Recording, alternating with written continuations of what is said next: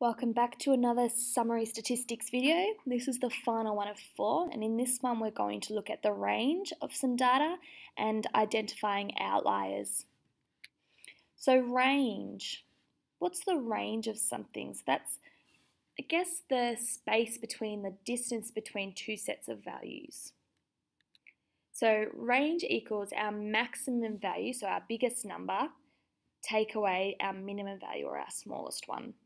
So let's do an example. The combined number of goals scored in each of the 48 first round games of the 2010 World Cup is summarised in the frequency table below. So we're going to find the range of the data above. So our highest value here is 7 and our lowest value is 0. So our range is 7 take away 0 which gives us 7. So our range for this set of data is 7. So next little thing we're going to talk about is outliers. So what's an outlier? An outlier is the data value that is much smaller or greater than the main body of data. So it's when we have a piece of data that's out on its own. So for example, we have this graph here, and we can see here we've got number of student, number of children in a house or in a family.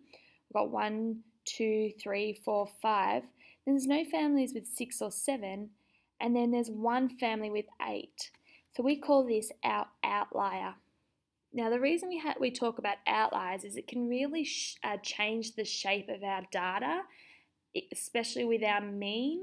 Um, it can really change the position of our mean. So it's important to be able to identify our outliers. If you have any questions, again, please make sure you ask um, and get into the example, uh, the exercises and ask any questions you might have.